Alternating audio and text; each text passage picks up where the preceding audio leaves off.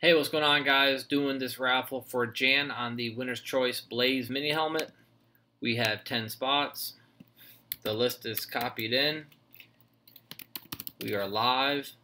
Timestamp is 2.15. Dice roll has to be 7 or greater. First roll is 11. 10 spots 11 times. Good luck. There's 1, 2, 3, 4, 5, 6, 7, 8, 9, 10. Next click will be the winner.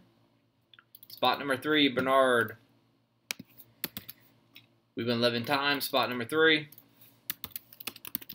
We are done. Timestamp is 2.15. Thanks.